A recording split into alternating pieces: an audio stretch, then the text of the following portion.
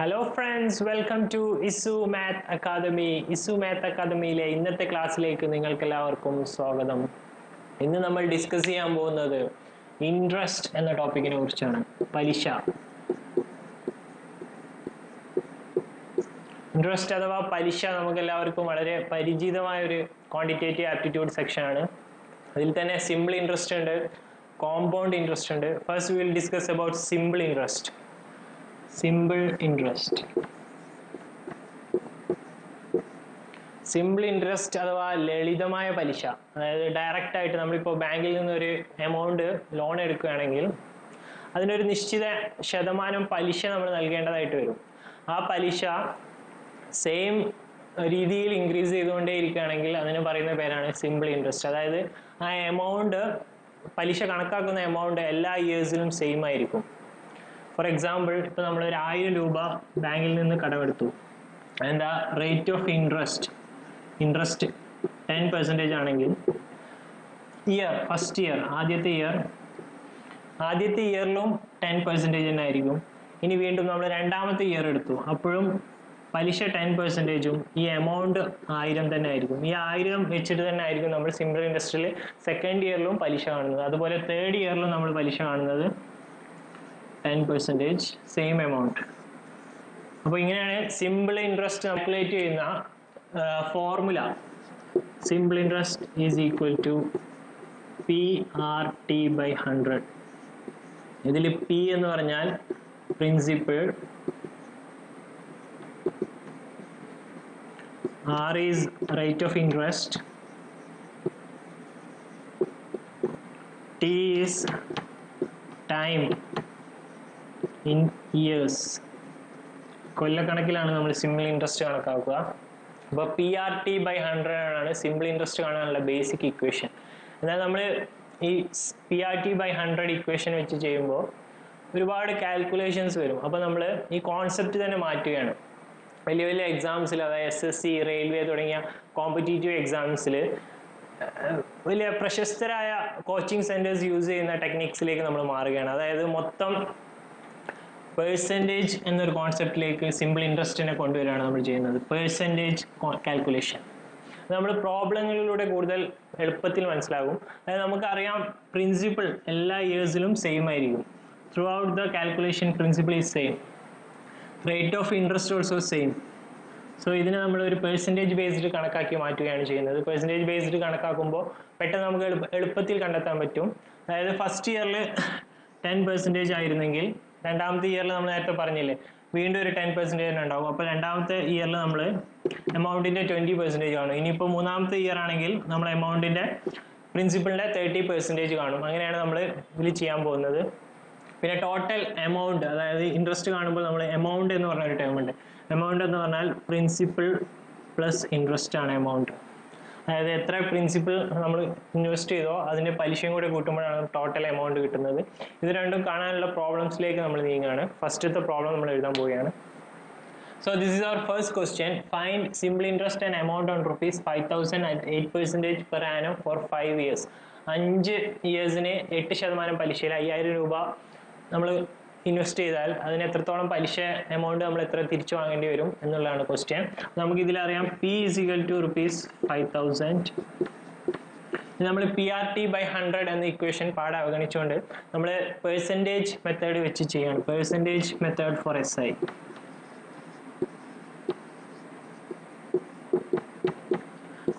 നമുക്കറിയാം എല്ലാ ഇയേഴ്സിലും ഈ പെർസെന്റേജ് സെയിം ആയിരിക്കും. ഫസ്റ്റ് ഇയറിൽ നമുക്കറിയാം എയ്റ്റ് പെർസെന്റേജ് പലിശ ആയിരിക്കും. സെക്കൻഡ് ഇയർ ആകുമ്പോൾ പലിശ സിക്സ്റ്റീൻ പെർസെന്റേജ് ആയി മാറും. Third year twenty four percentage ആവും. അങ്ങനെ ഫൈവ് ഇയേഴ്സിന് മൊത്തം percentage five into eight is equal to forty percentage അതായത് ഈ ഫൈവ് തൗസൻഡ് ഫോർട്ടി പെർസെന്റേജ് കണ്ടാൽ നമുക്ക് ഡയറക്റ്റ് എസ് ഐ കാണാം. Forty by hundred into five thousand calculations will be very simple in this method this will be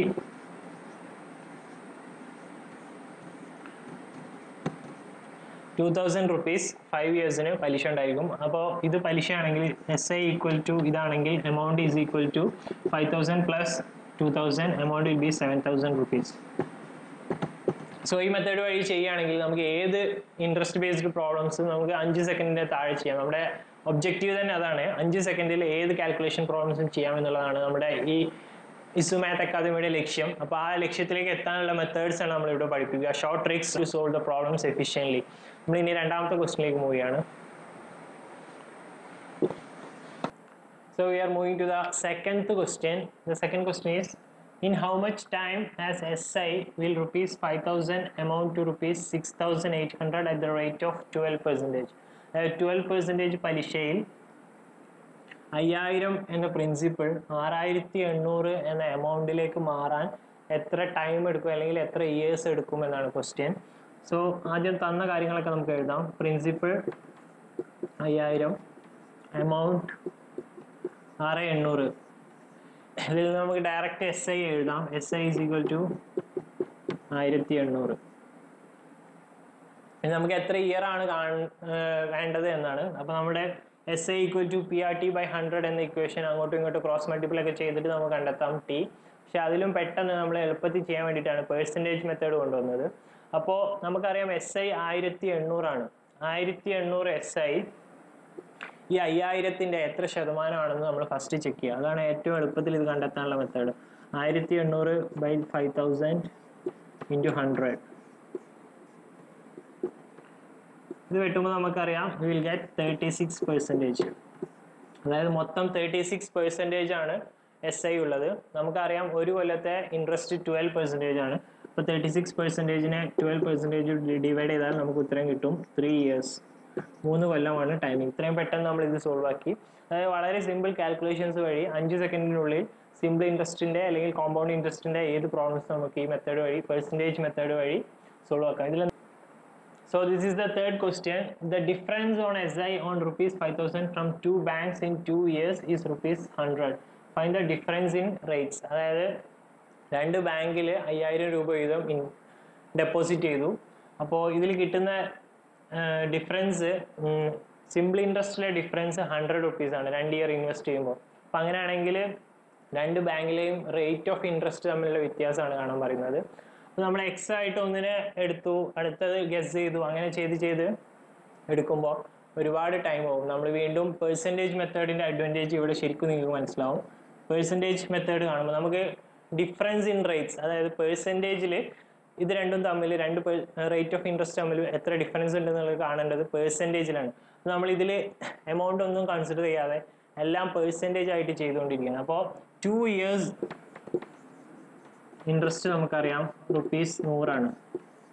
so two years ഇൻട്രസ്റ്റിലെ difference rupees നൂറാണ്.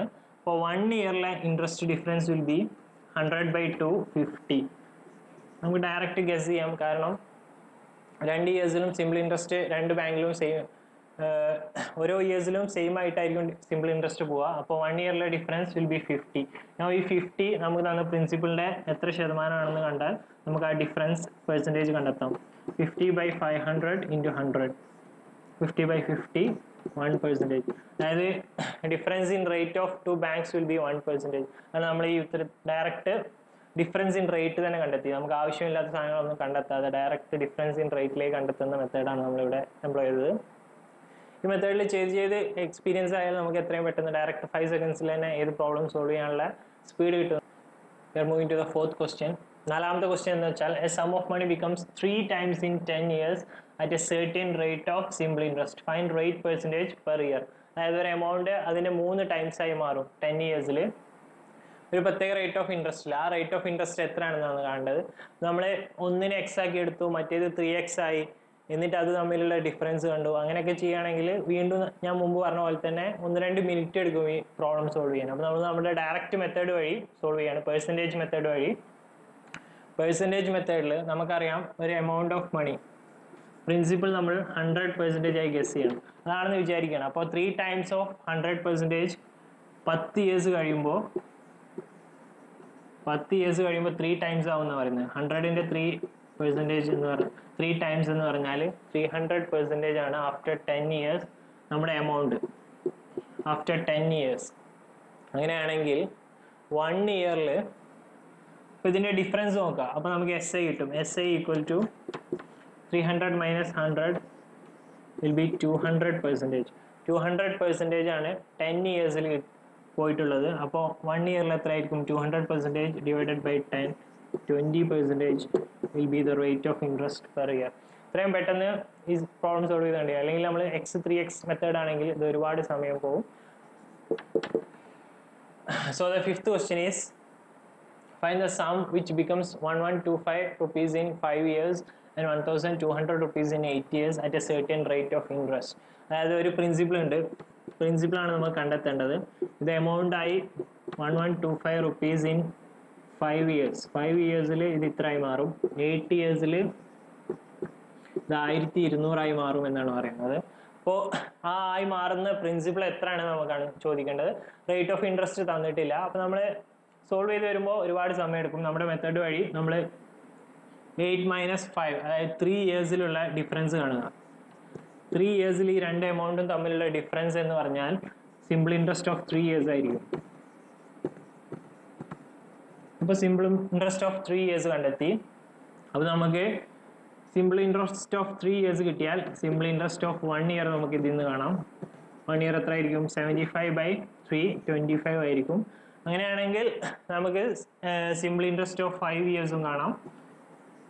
Five years twenty five into five one twenty five ആയിരിക്കും simple interest of five years പിന്നെ ഇവിടെ തന്നിട്ടുണ്ട് five ഇയേഴ്സിൽ ഇതാണ് amount അപ്പോൾ five years ആകുമ്പോൾ ഉള്ള principal one one two five minus one twenty five is equal to rupees thousand will be our principal അതായിരിക്കും നമ്മുടെ പ്രിൻസിപ്പിൾ ഈ മെത്തേഡിൽ നമ്മൾ സോൾവ് ചെയ്യുമ്പോൾ മനസ്സിലായില്ല? ഇത്രയും പെട്ടെന്ന് നമ്മൾ സോൾവ് ചെയ്തു. മറ്റേ മെത്തേഡ് ആണെങ്കിൽ ഇത് ഒരുപാട് ടൈം പോകും sixth question is simple interest on a sum of money is one by sixteenth of the principal and the number of years is equal to the rate percentage per annum find the number of years അതായത് ഒരു principal ഉണ്ട് അത് one by sixteenth of the ഒരു simple interest നമുക്ക് കിട്ടിയ simple interest പ്രിൻസിപ്പിളിന്റെ one by six so answer is P നമ്മൾ hundred percentage ആയിട്ട് എടുത്തു.